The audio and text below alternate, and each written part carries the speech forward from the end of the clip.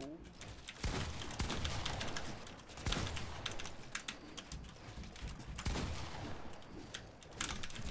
I'm getting distracted because I'm getting trying to quest. I need to know how to do questing.